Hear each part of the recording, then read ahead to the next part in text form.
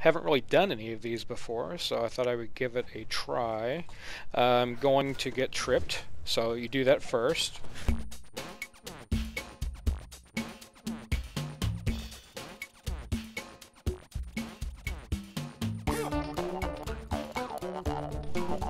Hello and welcome, Dirty William here with a quick tip video. This is House of Rusted Blades. I'm sure many people have already seen how to run Rusted Blades quickly on particularly a caster. This is my main character, and I am trying to work on some Epic Destinies.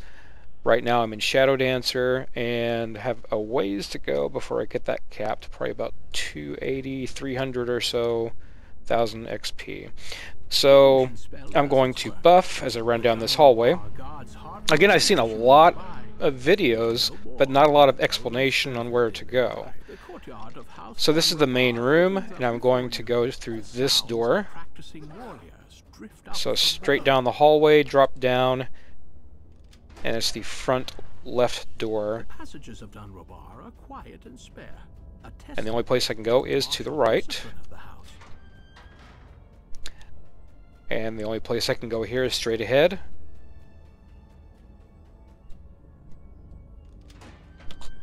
Go ahead and buff while I run. Uh, at this intersection, you want to go north. So make a left there. Hit this lever. Now in this room, there's no place else to go except there or there. We're going to go this way, so to the west put on my right boots. I was skating. We can just go straight here, so we go straight.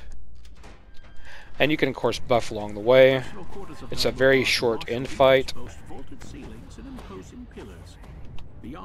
So what I'm going to do here, this is what I have to hit. So what I'm going to do is throw up a D-door first, then I'm going to hit the weapon rack, hit the D-door, and go back to the beginning.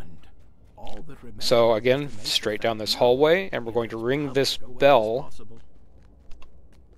So we jump down. And if you are with other people, they everybody has to be around this belt before it will allow you to ring that bell. So now I'm just going to hide over here until the guy up here activates. Yep, there he is. Uh, you cannot damage him yet, so just kind of hang out.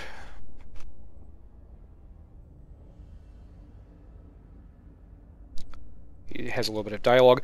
I have my settings, my uh, draw distance up to ultra high so that I'm able to see where he is. So I'm just going to get his attention, throw that at him.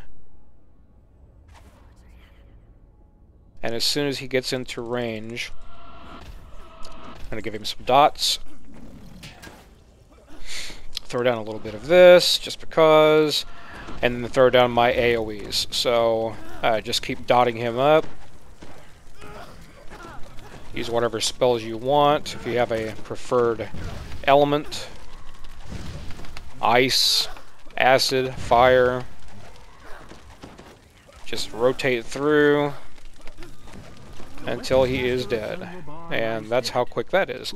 Now, this was 3 minutes and 23 seconds because I was chatting while you know, right there at the beginning.